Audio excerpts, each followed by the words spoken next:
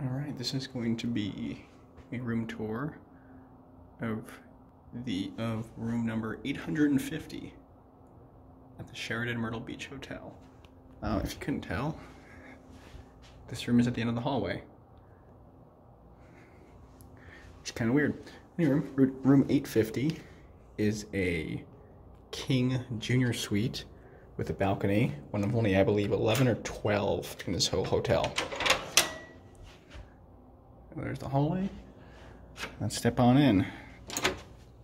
So when the first thing you'll see when you come in, it's a nice little hallway right here. Got a nice mirror just before you leave your room. One of these light switches here. Window here. Here's a map. The um, eight. So all these rooms are standard rooms. Number 850 is the only one in the whole hotel with a balcony. There's only one room layout with a balcony, and that would be at the very end right here. None of these rooms have balconies, even this one. Um, 832, the 32 rooms are, I believe, are executive suites. Um, they connect with 834, I believe, and uh, the presidential suite, um, as well as some other um, big rooms like that are there. Um, yeah, this is the eighth floor. There's 12 floors total. Here's the view at the first window. Um, nothing too impressive. You can see a, uh, something out there. Yeah, you probably can't see it. It's a helicopter. Um, there's a little Ferris wheel down there. And the, uh, I'm guessing the employee parking lot. Down here is the convention center. Uh, so we'll go into the room here. Uh, here's the bed. It's a corner room, obviously. So um, goes in there. But uh, here we have a microwave, coffee maker. In here, we don't have a fridge, even though there should be one. The fridge is actually underneath the TV, which is kind of stupid. They should have put shelves there in the fridge here, but whatever. Here is my stuff, um, but you have your work center here with superchargers. Well then, that took a lot, long time to come up. Two outlets here. Two outlets here. Okay, I just switched the TV off, but uh, here's the king bed. You can see the backboard is pretty nice. Um, pretty comfortable. Still a spring mattress. Come around to this side, you have a clock, which this is actually the same alarm clock I own. Um, I really like it. It's only like 15 bucks off Amazon. They look expensive, they're not, but they're really nice. Sony makes them. Um, anyway, in here you have the standard stuff. Uh, and here is the other side of the room, looking from the back corner, hallway. Uh, there is the living area, living room, TV, swivels. Um, down here we have your fridge. That comes with a freezer. Oh, what is this? A uh, Myrtle Beach Visitor's Guide. Drawers, drawers, drawers. Oh. That one almost didn't close. Here we have your ice maker, which are free. Always check that. We'll go into the bathroom here. I really like the bathroom. It's actually really, really long with lots of counter space.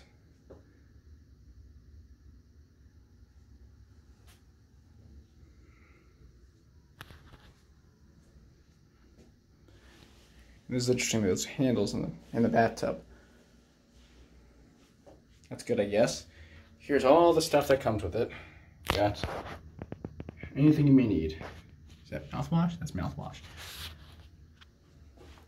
No drawers down there. Oh, there's one down here. Nope, that's that's a, a bottle opener. That's a bottle opener, all right. Because if you just want to drink a can of or bottle of something on the toilet, I guess you have the option to. I've never seen that in the Sheraton before or any Marriott hotel. Um, over here we have a, a, seat. It's comfortable. Glass table, coffee table, and this is a sofa bed. Um, there it is. a little bit dirty. Um, this place was renovated not too long ago. Also not recently, but that's okay. Thermostat here. Set to 64. 65 now. Oh, and then this is a nice big balcony. Look at those colors. Very large. Look how big that is. There's the couch, and there's the door. This is huge. Let's come out here. Close this so no bugs come in. You got two seats there. And you have a nice ocean view. Um, kind of, you, you can see it past the other hotels, but uh, here's uh, Myrtle Beach, a little bit nor more north of the of downtown Myrtle Beach. That's kind of downtown Myrtle Beach area right here. Uh, actually, you can see Hilton Grand Vacations right there. Uh, here's the lobby of the hotel. Here's the rotunda downstairs. You can see it's like four floors high. This down here says South Carolina Hall of Fame. Don't know what that is. And uh, here's part of the convention center also. This is the so this is the Myrtle Beach Convention Center. And uh, top I'm not sure if that's Top Golf or not. It may be Top Golf. Uh, stadium. And uh, yeah, there's a park right there. And uh, this is walkable to the beach. Um, it's just down the road and then two more blocks. So uh, yeah, it's a say I'd say it's about half a mile. So it's not far, about a 10 minute walk. Uh, there's the top of the hotel, presidential suite up there. Uh, as you can see, even the presidential suite does not have any balconies. So that's so that's interesting. Um, only these rooms do.